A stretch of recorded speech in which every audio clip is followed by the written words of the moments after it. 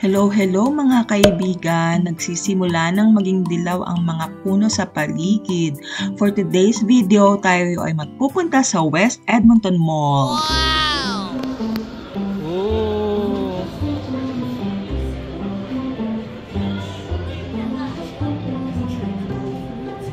Si Baggy, oh. Pwede na.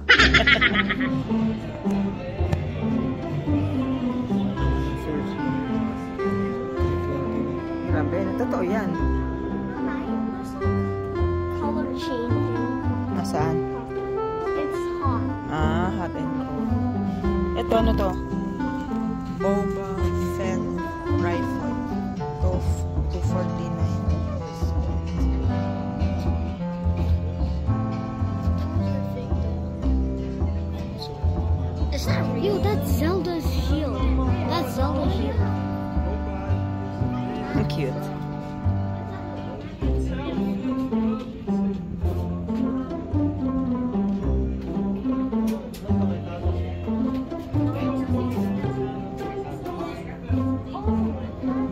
Double saro ano?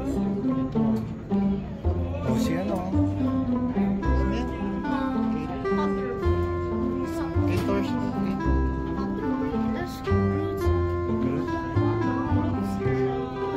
Mga ano.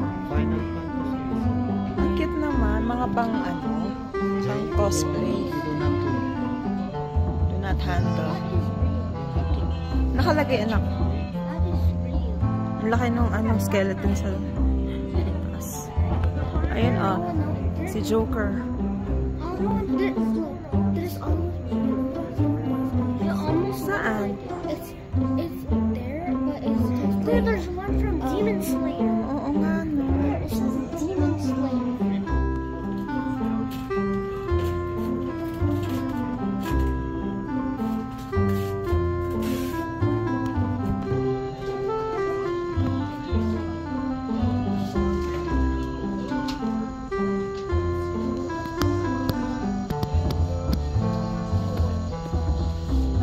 Ay, gusto ko nito. Umiilaw. Ang ganda. Ah, yun lang. It's loud. I know.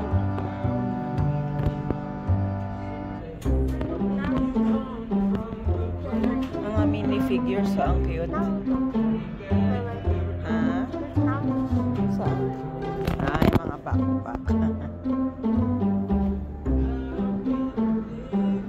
Ito, sino to? Kilala niyo to? No. Oh wait, I know him. I think he's like. I know this. This. The one with one. Saan? With.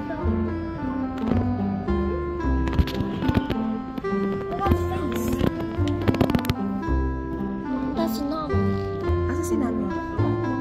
Oh. Ah, okay. Oh. Rise and clockers.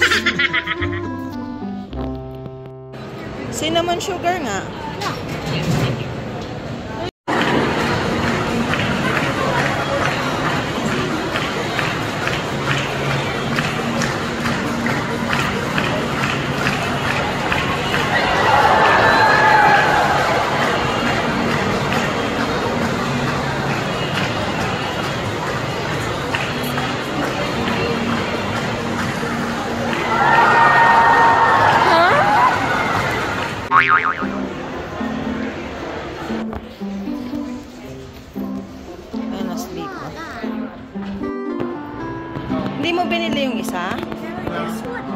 This Oo. That's what this is.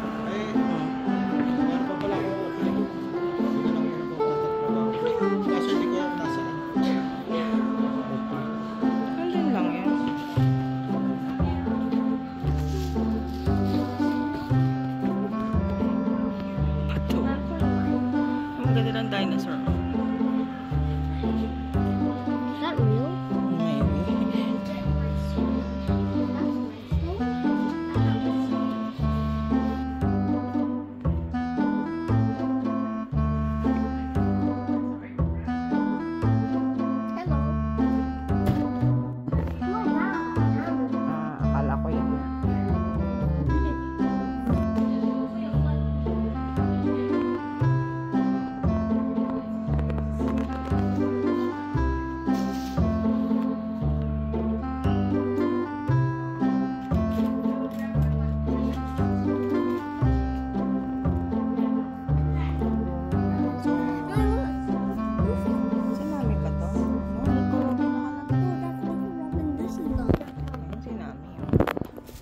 A few moments later. Milo! no, this is for tatay.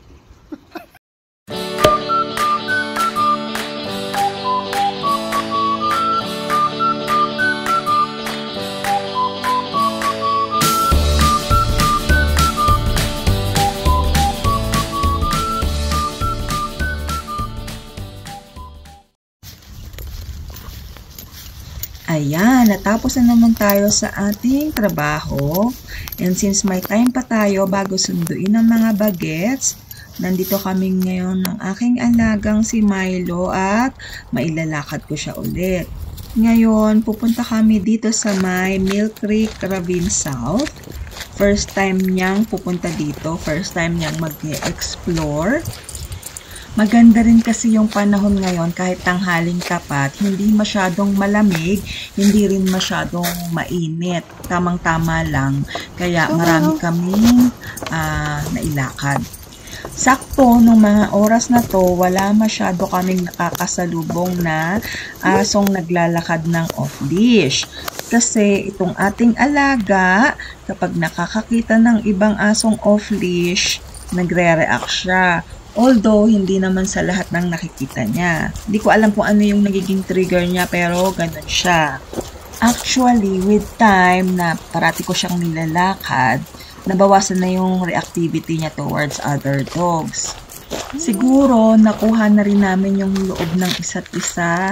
Nakuha ko na kung paano siya papakalmahin, pati yung sarili ko. Tuwing ilalakad ko siya na may makakasalubong kaming mga aso na ganon. Kasi dati talaga, pag ganyan, ah, parang natatakot ako kung anong magiging reaction niya. Siguro nakukuha niya yung energy ko, kaya ganon. Although meron pa rin namang mga times na parang medyo unsure siya sa mga nakakasalubong namin. At least hindi na kasing grabe nung una ko siyang ilakad. Kaya masaya.